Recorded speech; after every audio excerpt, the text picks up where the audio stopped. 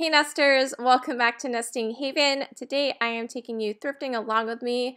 This is actually a part two to this series, so if you missed part one, be sure to go ahead and check that out after this is over. But I will share some more thrifting as I went to that store this day, and then we'll go ahead and do the thrift haul at the end of this video. So I've been really into the baskets after watching Little House on the Prairie. Me and my husband binge watched it over the last few months. Really loved the show. And they used baskets back in the day, obviously. And I just been really looking for some cool baskets to get in our state where they're not doing plastic bags anymore and I feel like the baskets are a little bit more solid than all of the cloth bags and stuff. So I thought it might be kind of cute to find a few, at least to take to the farmer's market or something like that. We also did get chickens this past year and they had just started laying eggs in December. So I already have a smaller basket that I've been taking out, but you know, as they start laying more, I might go ahead and need a bigger basket. And we like to garden and things like that. So these would be really good for harvesting as well and just for different odds and ends in the house. Good for organizing. So just been really into the baskets lately.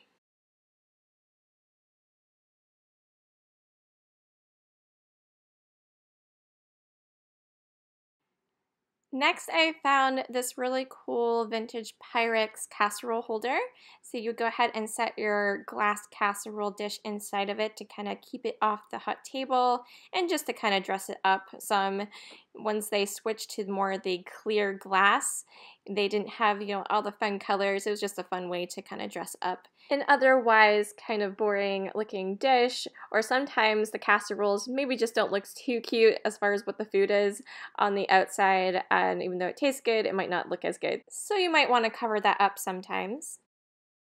I usually will give the mugs a quick look. I don't dig too deep at them, but if anything catches my eye, I will grab it. This was a Prince Island souvenir piece. I don't really resell to Canada too much. I pretty much just sell to the US. So I decided not to get that. I wasn't sure if, you know, anyone in the US would really want a Canadian souvenir piece. Maybe they would, but I figured it would be a harder sell. So even though it was cute, I decided to pass on that. They had this darling little picture and it was on the smaller size here. Maybe it was just a large creamer. but you, as you can see, the blue stripes were very faded. So it was unfortunate, but I put that back. And then I found the adorable Blue bowed Goose oval pictures here from the 80s. So fun. So you got to save the Blue bowed Goose, right? Those weren't too badly priced. Those were put out by Homco. And then over here on the glass case, they had some vintage chalkware owls. They're asking $3.99 a piece for them. It did appear that they both had their hangers. There was some paint issues, but nothing too serious. But I just feel like owls, they had their heyday already. Like they kind of came back, and I feel like they're not as popular right now.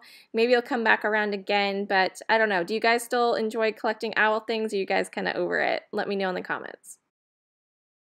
I always love these very bold colors on the tins, and I'm always trying to think of different things I can use the tins for because I just always enjoy, you know, looking at them. They're a great like advertisement piece, but they just have such fun graphics on them.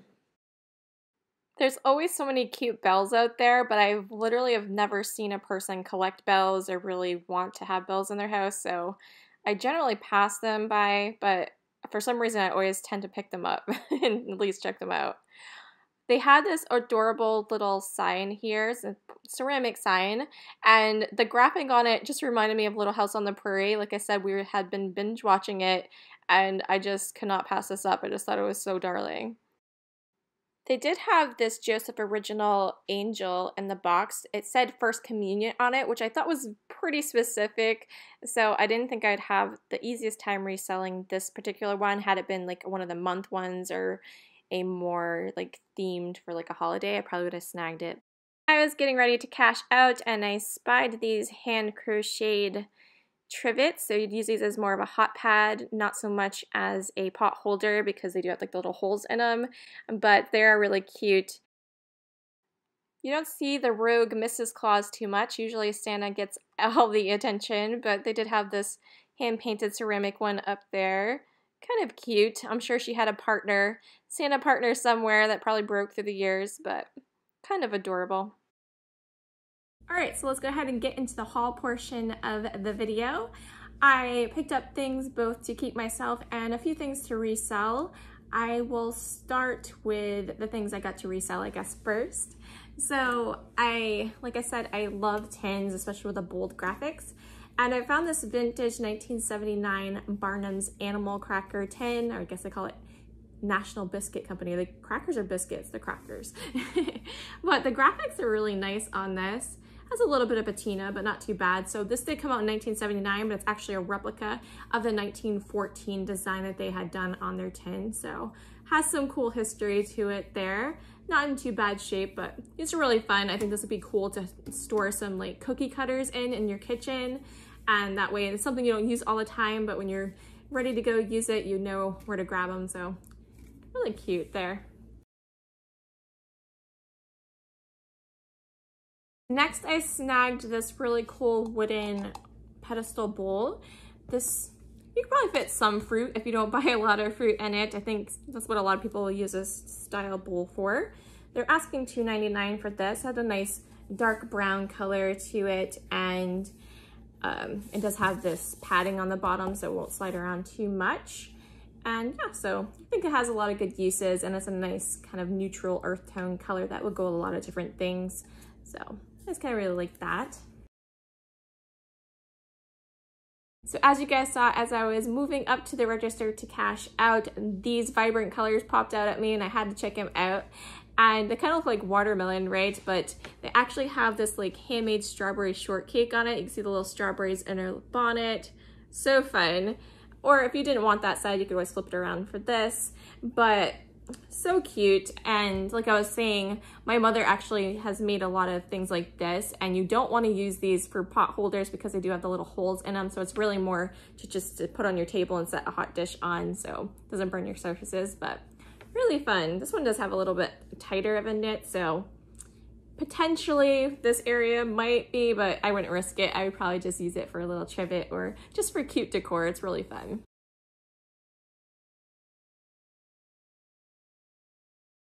So I couldn't resist picking this up because of my Little House on the Prairie obsession as of late. So I had to snag it. It is like this porcelain piece and is made in Japan. It has a marking right there of Japan. It also is embedded here as well where it says made in Japan. It was pretty dirty at the thrift store, so I did not see the damage that is on it. So there is a little bit of a chip at the back of it right here. And then a little bit in the painted like graphic, there are some spots where like little pieces of the tree has popped off and like maybe like a little flower, but it's not really too bad. I still think it has a lot of cute factor to it. And honestly, when it's sitting on a shelf, you're not gonna be pinpointing all those little flaws in it. I think, you know, the overall piece is still there. So I think it's still pretty solid and I'm glad I picked it up. I think it's really fun. So you guys know I love my state souvenir pieces, so I did pick up a few to resell. The first one is this darling little Texas Trivet, Texas Wildflowers. It has the blue bonnet, Indian paintbrush, and yellow primrose are the three flowers.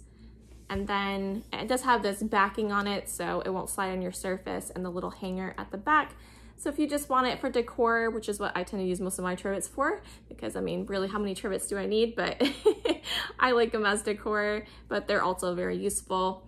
And you could probably use this as a coaster as well. So, you know, I think it'd be nice to put like a teapot on if you want to have your hot water and then just like sit down at the table. That'd probably be a good use for it as well. But pick that one up.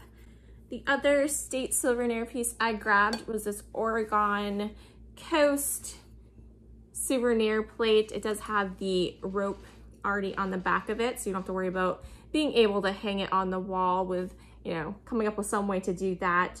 It is made in Korea. And yeah, I'm not super familiar with Oregon, except for people yell at me for calling it Oregon instead of Oregon. Is it Oregon? Or yeah, Oregon, I think is how you're actually supposed to say it. But I don't know. I don't know if it's just because I'm from Maine and it's the way we say it, but I would say Oregon. Let me know how you guys pronounce Oregon, but I guess it's kind of controversial.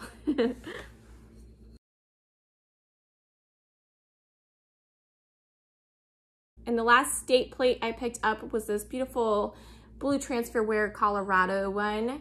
It features like six different attractions there. I've actually been to Colorado a few times, really enjoy it, but I don't recognize the things on this. I was mostly in the Golden, like Evergreen area.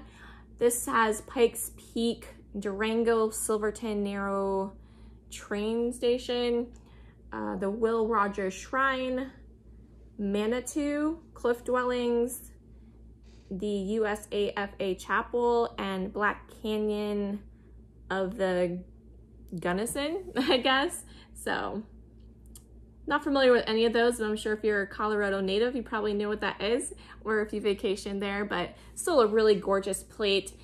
This blue transferware is pretty popular and it's a nice spin on it if you don't like so much the Victorian scenes that you usually see on it, and but you really like the looks of the blue transferware. This could be up your alley to collect maybe this type of estate plate. Next, I found this really neat Betsy Ross decorative plate. Of course, Betsy Ross is the flag maker here and it features her doing so with the colonial people. And this was actually put out by Avon. So it is, it was made exclusively for Avon by Enoch Wedgwood and it was put out in 1973. So this will obviously look really great with your 4th of July displays. And yeah, I just thought it was a really fun piece, nice little historical item. I did end up snagging these three wooden bowls. They are hand painted with different tree leaves on it. So we have this one here, which might be, I guess it's kind of like a maple, I would guess. And these are all signed on the bottom BL and then it says Blairsville, Georgia. So I guess that's where they were made. I'm not sure the artist. And then this one would be oak leaves, I believe. They have this really cool primitive vibe to them. It's really cute. And then this is kind of like your basic like alder leaf. I don't really know the type of tree that's from, but once again, you can see they're all signed on the bottom there. So really cool. I'll likely sell these as a set of three, but I just thought they were really fun. I did grab a few pieces of jewelry. I picked up one thing to resell just because I know people like Halloween stuff and I thought this was kind of neat. It is a vintage 90s piece. It's from 1996 and it's just this nice little enameled jack-o'-lantern there. It came on this chain, but I mean, you could always change the chain out if you didn't enjoy that, but I'll likely just throw that up on eBay auction for not start out for very much and see if anyone's interested. It's kind of an odd time of year, but we'll see what happens, but I thought it'd be fun. A lot of people enjoy Halloween. All right, well, switch over to the items I picked up for myself. I guess I'll go ahead and continue with the jewelry. I picked up this beautiful blue, it's like a nice royal blue bracelet. It has a little bit of stretch to it and I prefer this type. I don't wanna have to deal with cl clasping anything together. So I just think these are nice and easy you do want to be careful of the condition of the elastic because obviously they're more likely to break than the clasp ones, but you know, I just think they're more comfortable. So I enjoyed that. And I also snagged one. It's another elastic one. This is, it looks wooden, which I enjoy the wooden jewelry, but it's kind of, I don't know how to describe it. it almost feels like deer antlers, really. It's like a really smooth must be some type of like enamel or something, but it's really cool look to it. And like I said, it looks wooden, which is what I enjoyed. So I snagged those two bracelets there. And then I grabbed this necklace that looked pretty 1970s, kind of earth tone vibe that I like. So I thought that would be a nice little costume jewelry piece. They had $3.99 on this, and I believe the bracelets were 99 cents a piece. So not a bad deal there. And I did grab this pair of earrings in the very 1980s teal. I'm not really sure if I will wear them or resell them, but I just thought they were kind of fun. So I snagged those. I think those are 99 cents as well. I only ended up grabbing this one basket. It was March $3.99. I picked this one because it has a really solid weave to it. I mean, this thing's gonna hold a lot of weight, so ultimately I wanted something that would do that and don't have to worry about putting too much, you know, heavy stuff in if I'm harvesting stuff in the garden. Like tomatoes or if I want to get the heavier things like zucchini or something like that or a couple squashes or something, I won't have to worry about that. So no matter what I get in the garden for one night's picking, it'll be all right in this. So I was pretty happy with that find. And of course I grabbed the two oval bluebird geese pictures. These were put out in 1985 by Homco. They are made in the USA. It's a glass and it has that, you know, typical like Homco plasticky frame you would find back then. Has a vintage kind of back too, so you know it's a little bit older, but these are really fun. I don't have any bluebird geese pictures on my wall and I like the size to these, so I'm going to find a place to incorporate them into my house. I do have a lot of like the knickknacks or jars and stuff, but yeah, I thought this was really cool. Only 99 cents a piece for those.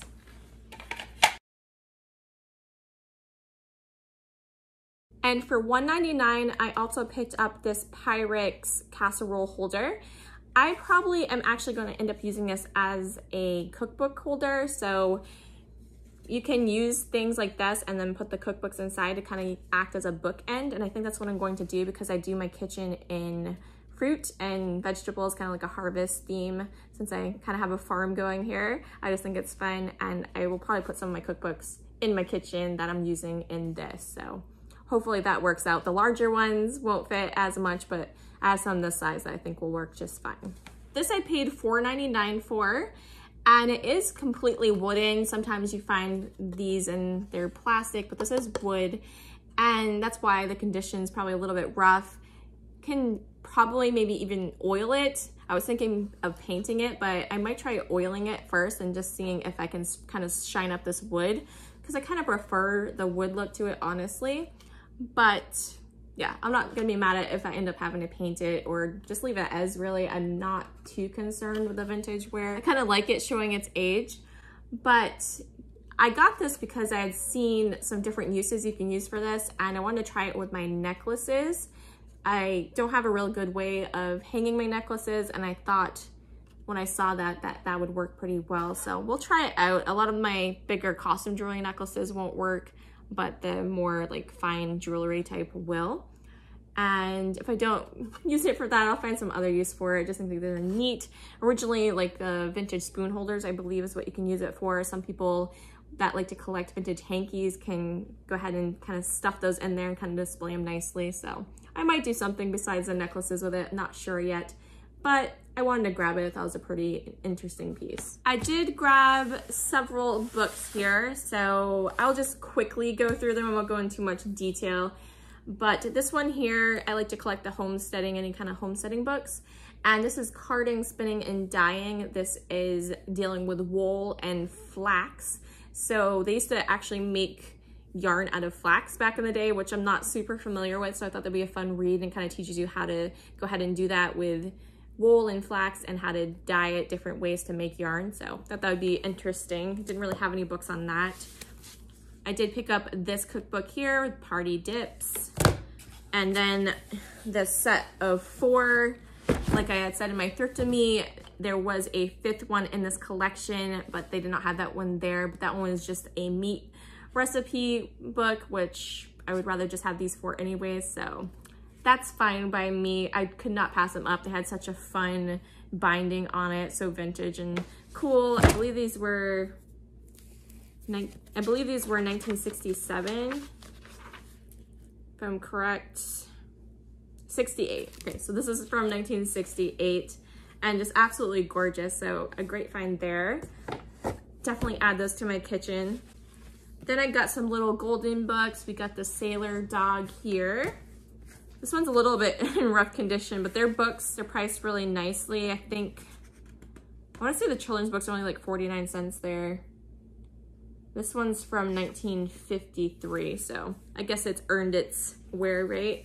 And we got this Garfield and the Space Cat one. I assume this is probably from the 80s. That's when Garfield was big, right? 1988. I grabbed the 12 Days of Christmas here. This one looks a little bit older. It has Rudolph the Red-Nosed Reindeer.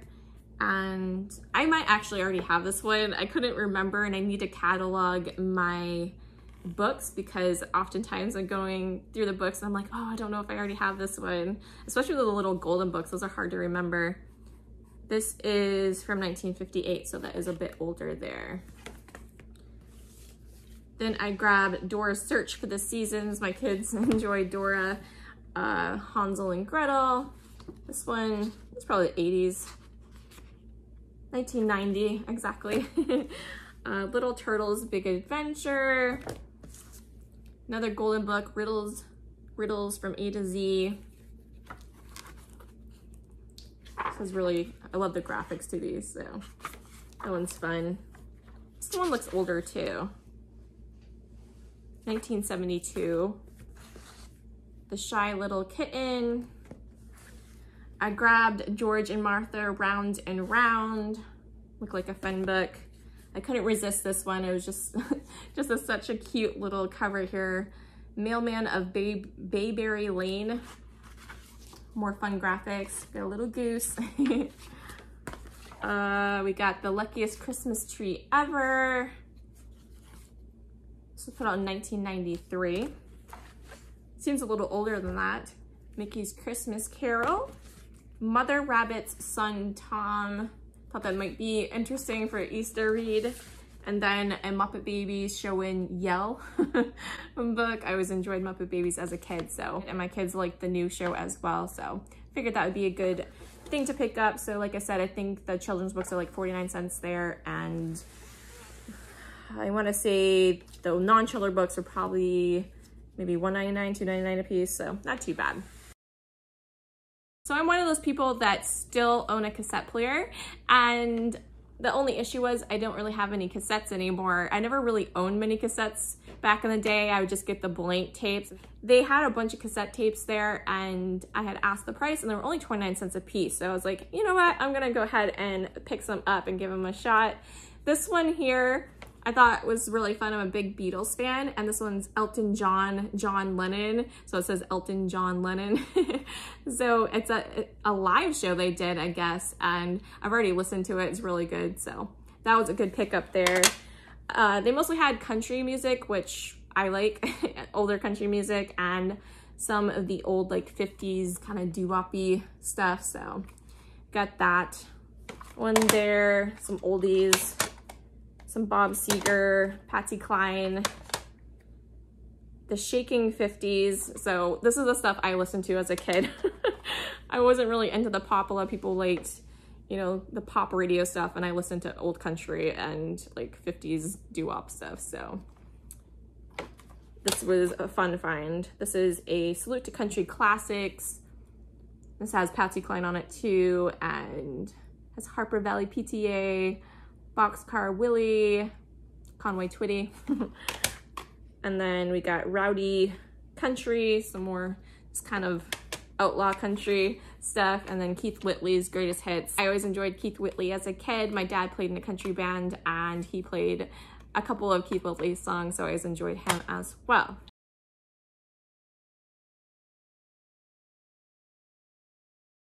I was also happy to find one Afghan to pick up in my 1970s colors that I love. It will go perfect in my living room space. It has the brown and orange and tan or beige as my son would call it. He's really into, he's six and he's learned what the color beige is and everything is beige. I'm not even sure I know what the color beige is technically. I feel like it's a lot of different shades, but he's really into the beige color. and so this is a pretty big Afghan. Has some cool little tassels to it, so I think this will work really great on the back of my couch. And that'll look pretty fantastic. I have some green walls in my living room, and I think this would be a nice way to balance that out. So I believe it was $5.99 and in fairly good condition. This wasn't full of pet hair. Like oftentimes I find these and they're just like saturated in cat hair. So that's, that's usually a big turnoff for me. So I was happy and thankful for that. But that is gonna do it for my thrift haul today, guys. I hope you enjoyed. Be sure to let me know down in the comments what item I picked up today that was your favorite. If I said I was reselling it, you can check my eBay store out if you are interested in any, anything. I'll probably have some of it in a live sale in a couple weeks here as well. And yeah, we'll catch you in the next one, guys. Thanks for watching. Bye.